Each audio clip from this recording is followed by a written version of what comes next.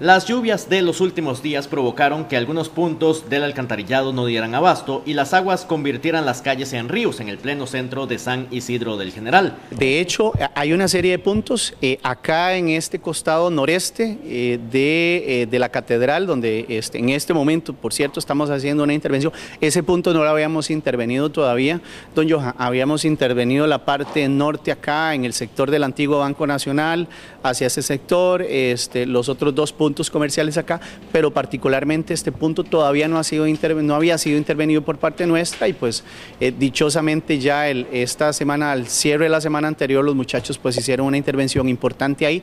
Uno de los puntos intervenidos fue el sector cercano a la catedral y ahí se colocó un tubo de mayor tamaño en un trabajo conjunto con acueductos y alcantarillados también con colaboración de acueductos y alcantarillados porque nos dotó de una, y así lo publicamos como municipio, nos dotó de una tubería fuerte, importante ahí, que nos sirvió para poder este, establecer ese canal este, para lo que es el drenaje en ese sector. Y hay algunos otros puntos que hemos tomado nota, eh, don Johan, para también ir eh, interviniendo acá en el centro de San Isidro. Y es que el alcalde fue claro que la cantidad de lluvia que en ocasiones cae sobre el Valle del General hace que el alcantarillado sea insuficiente.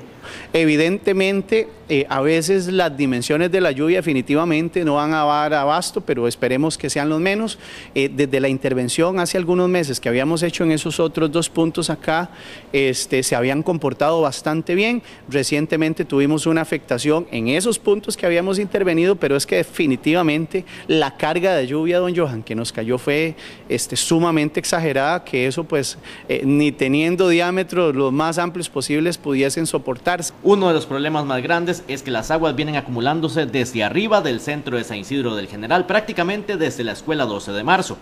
Y es que recordemos que la entrada de agua en este caso viene cargada prácticamente desde la 12 de marzo del Liceo UNESCO y toda esa agua viene en caída libre hasta el centro de San Isidro, hasta tanto pues y en eso también estamos detrás, no se haga tal vez una descarga ahí a medio camino sobre la antigua meseta, eh, este, a través de la ruta nacional y que permita pues una carga menor de agua, pero eso es parte también de lo que tenemos que, coordinar con los señores del MOB CONAVI.